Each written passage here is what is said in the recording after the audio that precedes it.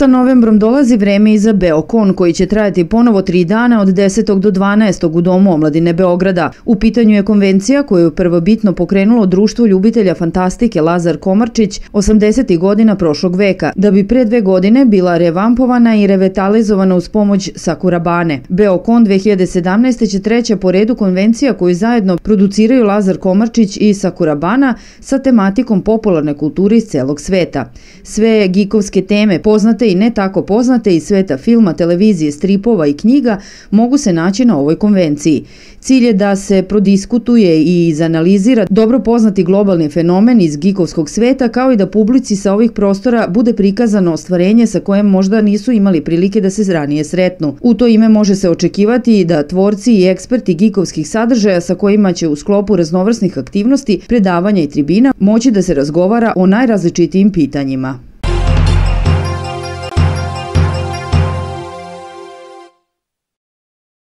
Na prvom festivalu čokolade u Dorćol placu 11., 12. i 13. novembra ljubitelji čokolade i čokoladnih poslastica imaće priliku da degustiraju i kupuju po festivalskim cenama proizvode koje vole, ali i da pronađu neke nove ukuse zadovoljstva iz bogate ponude proizvođača i distributera čokolada, čokoladnih proizvoda.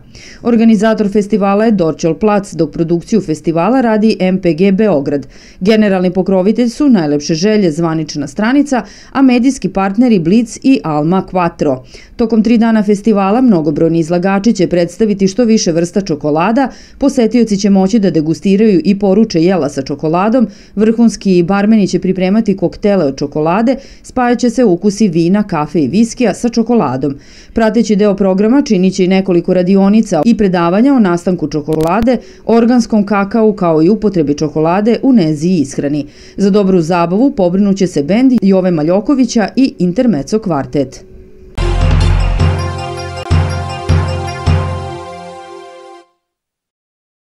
11. novembra u staroj hali sportskog centra Kolubara u Lazarevcu biće održana manifestacija Festival srpskih vina sa učećem 40 vinara iz Srbije. Kapije festivala biće otvorene od 12 do 20 sati, a izložena vina će moći da se degustiraju i kupe. Za gastronomsku ponudu zaduženi su proizvođači suhomesnatih proizvoda, jedan proizvođač kozijeg sira i dva proizvođača peciva. Ovaj festival je organizovan sa ciljem da podigne vinsku kulturu stanovnika Lazarevca, uticala i na kvalitet vina ovog kraja, a danas se vinari Lazarevačkog vinogorja okupljaju u udruženje vinara i vinogradara Zeočki vinogradi. Sa svih takmičenja u zemlji vraćaju se sa prestižnim nagradama.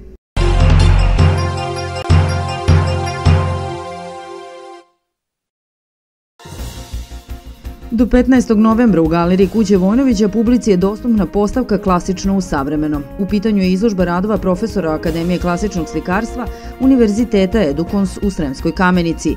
Rad na Akademiji Edukons zasnovan je na vraćanju starim vrednostima i načinima slikarskog obrazovanja i usmeren je na napredovanje mladih umetnika u pravcu razvijanja klasičnog slikarskog zanata. Se vrati na neke pozicije starih akademija od pre 30, 40 i naravno više godina kada su zaista na akademiji radili mnogo ozbiljni, pre, pre svega slikari, e, kao što je Marko Čelebonović, kao što je e, Milunović, kao što je Vozdenović Nedeljko, kao što je Srbinović i još mnogi drugi koji su zaista imali mogućnosti da zaista studentima pruže mnogo. Danas se vrlo često događa, ne, samo, ne samo vezano za Srbiju, nego naprosto i u svetu, u Evropi, da postoji neki absurdi u smislu da profesori slikarstva vode studente, a da sami u svojoj profesionalno umetničkoj praksi se ne bave slikarstvom, već nekim novim medijima. Dakle, evo ovde je sabrano radova naših, naših profesora koji predaju razne predmete od slikanja, crtanja, večernih akta, onda ima tu tehnologije, mnogih drugih predmeta koje, koje objedinjavaju jedno neko, neko znanje koje trebaju mladi studenti da prosto e, budu potkovani i da, da sa akademiji izađu sa nekim znanjima. Naravno, to je vezano za njihov praktičan rad, što je jako važan, jako bitan, jer samo kroz to će oni u stvari suštinski učiti. Svoje znanje mladim budućim umetnicima o klasičnom pristupu slikarstvu prenose kroz ceo studijski program koji je i koncipiran na tim osnovama. kad kažem klasično slikarstvo, pod tim podrazumevam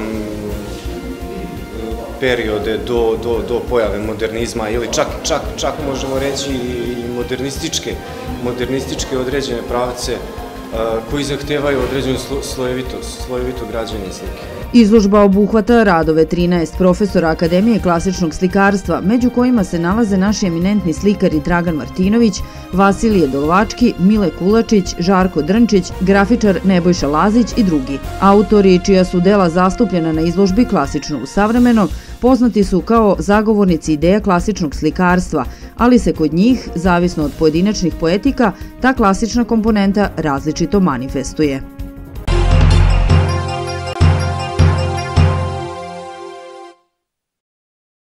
Indija je bila jedan od gradova Srbije gde je održan olimpijski čas. Bilo je pravo zadvojstvo videti tu radost najmlađih učenika osnovne škole iz Indije koji su uzeli učešće u ovoj manifestaciji. Pored njih je po prelepom novembarskom danu bilo prisutno i dosta građana koji su sa zanimanjem pratili te aktivnosti u samom centru Indije. Raznih radionica je bilo na tom času, od olimpijskog igrališta preko tribine sa sportistom, potom olimpijska priča i na kraju trening go radionica. Sam olimpijski čas je otvorio predsjednik Skupštine opštine Indija Milan Predović. I sa ovim je olimpijski čas praktično otvoren, zvonilo je. Deca su bila centar svih zbivanja na ovom olimpijskom času, a o njegovom značaju predsjednik Skupštine opštine Indija Milan Predović kaže. Indija je prepoznata kao lokalna samouprava koja dosta investira u razvoj sporta, praktično investiramo u zdravlje naših prvenstveno mladih naraštaja. Ono što je činjenica, rekli ste sami, ovde se nalazi predstavnici Olimpijskog komiteta s kojim se putem ovim zahvaljujem što su došli i odabrali Indiju kao mesto gde će prezentovati duh olimpizma u prevodu. Duh olimpizma podrazumeva mnogo toga, fair play, jedinstvo duha, znanja, mentalnog sklopa i tako dalje. Ovde se nalaze učenici svih naših osnovnih škola i oni se takmiču u raznim veštinama i disciplinama. Nadam se da će proteći u najboljem redu. Milan Pavlović je ispred Olimpijskog komiteta Srbije bio deo tima koji je vodio ovaj olimpijski čas, koji je održan u Indiji.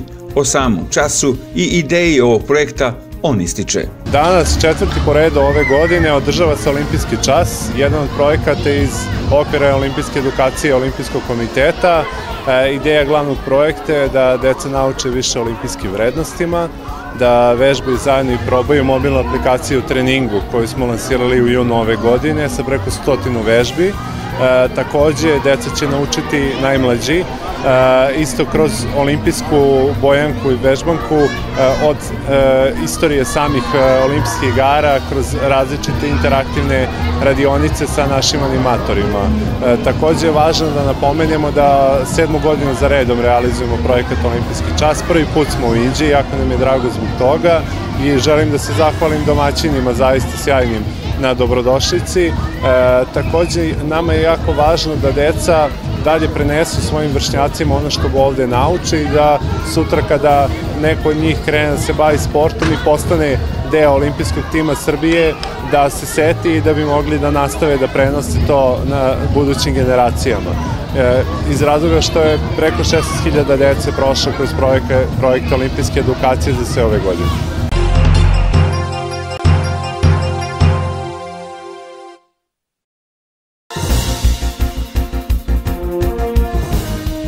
U organizaciji Udruženja sportskih ribolovaca Barica iz Inđe povodom zatvaranja ribolovačke sezone na Barici održana je prva štukijada na ovom prostoru u Inđiji.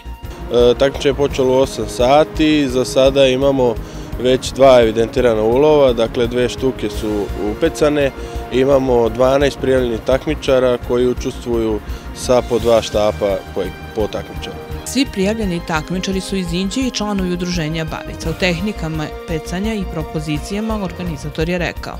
Tehnika pecanja je isključivo na sistem balerine, dakle organizatori su obezbedili kedere kao mamce i medalje za prva tri osvojena mesta, a takmičari su bili obavezi samo da dođu i ponesu dobro raspoloženje. Štuka može dostići maksimalnu brzinu plivanja od 60 km na čas i težinu od 35 kg, a maksimalnu dužinu od 200 cm. Štuka ima oko 700 zuba. U vreme mresta menja zube, zato se slabije hrani u tom periodu lov na štuku se ne preporučuje. Ima izuzetno rastegljiv želudac kojoj omogućava da proguta plen skoro svoje veličine. Ženke mogu da dožive starost preko 35 godina, a mužjaci od 10 do 15 godina. Posle osmočasovnog pecanja, hladnoće i borbe sa ovom lukavom grabljivicom, prvo mesto na štukijadi osvojio je Miodrag Ševrt, drugo mesto pripalo je Bojanu Rašiću, a treći plasirani je bio Marko Najdanović. Sva upecana štuka posle merenja vraćena je u vodu, a posle završenog takmičenja i podele medalja obezbeđen je ručak za sve učesnike.